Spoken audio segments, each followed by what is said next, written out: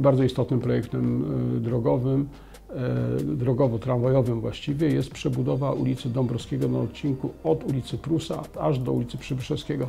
Przypomnę, że dwa lata temu zakończyliśmy modernizację odcinka od pętli Ogrody do wysokości ulicy Przybyszewskiego-Żarowskiego. Teraz przyszedł, przyszła kolej na ciąg dalszy.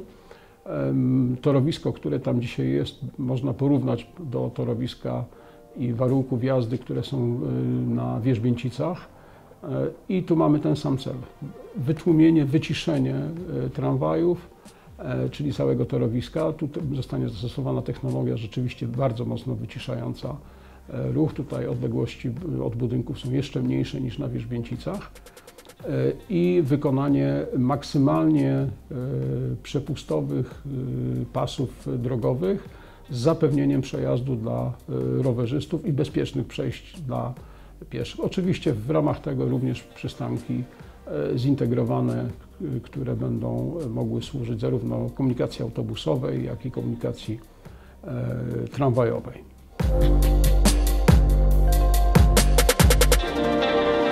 Mamy jeszcze dwie bardzo istotne inwestycje o charakterze drogowym, czysto drogowym.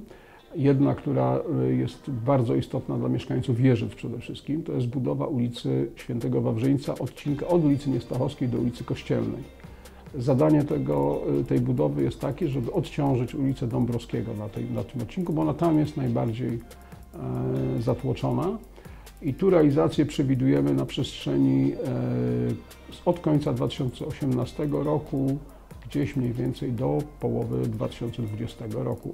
To są przewidywania, natomiast robimy wszystko, żeby to nastąpiło e, wcześniej. I jeszcze jedno zadanie, też dzięki bardzo dobrej współpracy ze starostwem powiatowym. E, To jest e, oczekiwane, wymagane wręcz przez mieszkańców gminy Czerwonak jako zobowiązanie poprzednich władz Poznania. To jest rozbudowa, przebudowa ulicy Gdyjskiej, ale na odcinku pozamiejskim, czyli na odcinku od granic Poznania do wysokości zjazdu do centralnej oczyszczalni ścieków. Odcinek wprawdzie niewielki, bo jest to w granicach jednego kilometra, ale po drodze są dwa bardzo istotne węzły, bo skrzyżowanie z ulicą Poznańską i skrzyżowanie z ulicą e, Piaskową. To zadanie ma, za, ma na celu ułatwienie dojazdu mieszkańców Kozich Głów, Czerwonaka, ale również i gmin dalszych e, do Poznania. Już dzisiaj te warunki są zdecydowanie lepsze niż były jeszcze 2 czy 3 lata temu, bo przebudowa całej ulicy Gdyjskiej, likwidacja kolizyjnych przejazdów e, kolejowych, plus dołożenie oczywiście e, nowej jezdni z dwoma pasami ruchu i poszerzenie samego skrzyżowania ulicy Bałtyckiej i Gdyńskiej, to zarówno na jednej, jak i na drugiej ulicy, już spowodowały, że tak naprawdę tam się korki e, nie tworzą. No niestety będą się prawdopodobnie tworzyć przy okazji e, modernizacji czy rozbiórki późniejszej budowy mostu Lecha. Tego niestety tutaj prawdopodobnie nie unikniemy.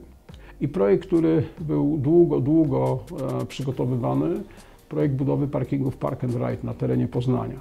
To nie są takie parkingi Park and Ride do końca, bo prawdopodobnie powstają w gminach ościennych, przy węzłach e, kolejowych na ogół, ale mimo wszystko Poznań jest na tyle rozległym miastem, że e, uznano, że warto takie parkingi e, na dosyć wysuniętych częściach Poznania wykonać. Pierwszy taki parking powstał na ulicy Szymanowskiego, to był pierwszy etap, taki trochę testowy też. Nie ma co ukrywać, miasto się tutaj uczyło też pewnych rozwiązań, pewnych rzeczy.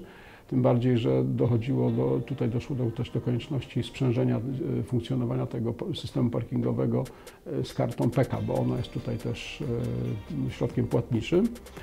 A my jesteśmy na, przed drugim etapem, przed jesteśmy w trakcie przygotowania drugiego etapu i takie parkingi powstaną w tym drugim etapie na ulicy Świętego Michała i na ulicy, na przy i na rondzie Starołęka. Jest jeszcze etap trzeci, przewidziany na nieco późniejszy okres.